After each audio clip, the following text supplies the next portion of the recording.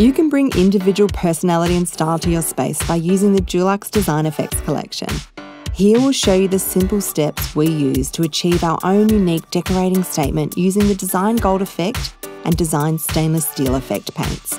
Bree and I have been adding gold and silver accents to a lot of our projects lately. The shimmering, opulent design gold effect creates a look of modern elegance when added to feature walls, trims, or furniture. The Dulux Design stainless steel effect will give you the sleek and stylish appearance of stainless steel that's perfect for feature walls, architectural features such as columns or bulkheads, as well as home accessories.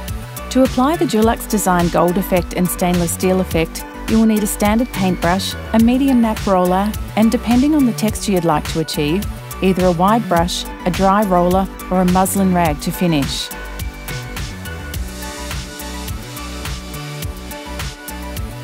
Start by applying paint with a brush around the edges of your wall.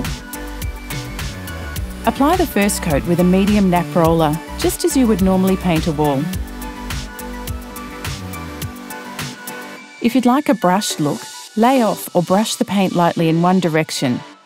Then, for your second coat, use your roller to apply the paint in small sections. Again, for a brushed look, while the paint is still wet, lay off or brush the paint lightly in one direction.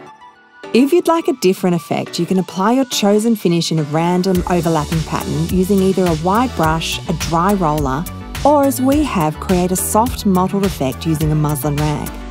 Continue this until the whole wall is covered and resist the temptation to touch up drying areas, as this may ruin your effect. Express your unique style with the Dulux Design Effects collection. For product information, step-by-step instructions, colours and more inspiring how-to videos, visit the Dulux website